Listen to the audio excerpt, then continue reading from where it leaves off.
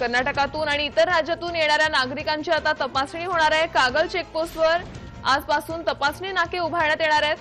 Covid अहवाल अथवा लसीकरण प्रमाणपत्राची आता तपासणी होणार आहे. कोल्हापूर जिल्हाधिकारी राहुल रेखावार यांनी ही माहिती दिली आहे. तर चोरट्या मार्गाने येणाऱ्या नागरिकांचं आता विलगीकरण करण्यात येणार आहे.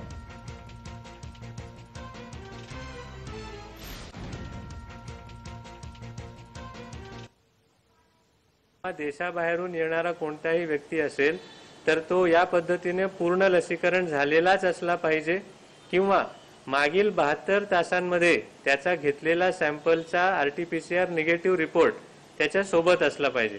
तरच त्याला आपल्या जिल्ह्यामध्ये प्रवेश करणं शक्य असेल. अन्यथा त्याला प्रवेश नाकारण्यात येईल आणि असा कोणीही व्यक्ती जर आडमार्गाने किंवा लपून आपल्या जिल्ह्यात प्रवेश करत असेल तर त्याला शोधून त्याला विलगीकरण कक्षामध्ये ठेवण्याची व्यवस्था सुद्धा आजपासून करण्यात येत आहे.